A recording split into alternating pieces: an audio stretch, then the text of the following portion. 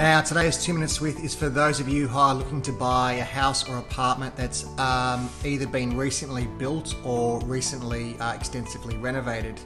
Now, it might feel a bit strange to think about getting a building report for a brand new build or a brand new renovation, but um, it actually does make sense because uh, when you walk into a brand new building or renovation, and you've got stars in your eyes. It's a bit hard to see past all the shiny new things, and you can't really see what's going on um, underneath the hood, so to speak.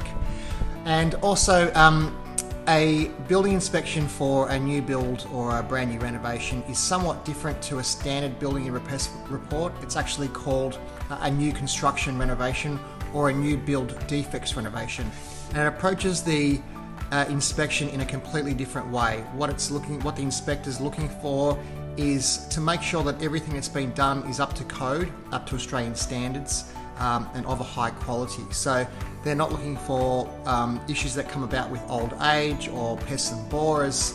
Uh, they're looking for issues that come around from essentially shonky workmanship.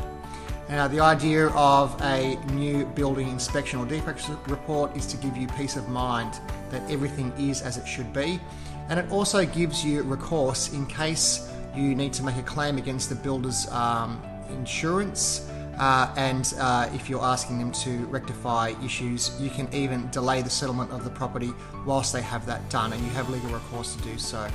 So, yeah, new build inspection report or a new build defects report great thing to get done, essential to get done, I should say, um, when you're buying a new build, a new apartment, or a recently extensively renovated um, build, just to give you peace of mind.